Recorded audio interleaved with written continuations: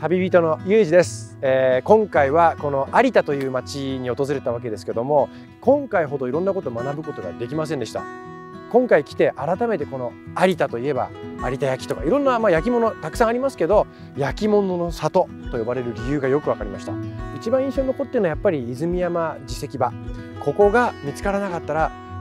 陶器と磁器ありますけど磁器に関しては生まれてなかったっていうのを聞いて非常に感動しましたね。で実際にその自石場を目にした時にスケールの大きさと、えー、まあ、そこの迫力ですね感動しましたね。でやっぱり日本遺産に登録されてる街並みもあの非常に素敵でした。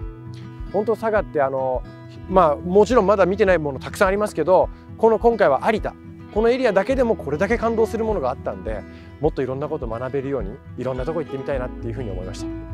陶器というのは美しい白い地肌。この私の肌のような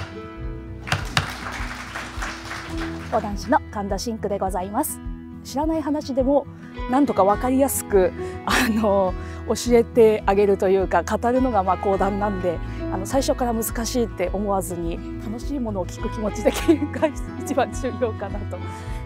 まずなんか本当にあの難しいとか歴史の話やっていうあの拒否感がある人がまず講談って聞くとあるみたいなんですけどそうじゃなくてもうもうあのなんかあの愉快な物語というかお話をしてくれると思って聞くと意外とわかるっていう だと思います。はい、和太鼓奏者の三浦幸喜です。あの最初にお話をいただいてこの泉山寺石場の写真を見るんですけど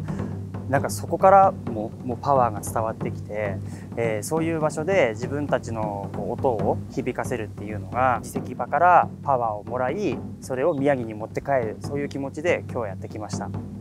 えー、さざれ石岩音なり手、えー、君が代にもありますけどもそういうイメージでこの場所にぴったりだなと思って今回大きい太鼓とそれから、えー、篠笛農家それから、えー、手踊り今回入れてみました。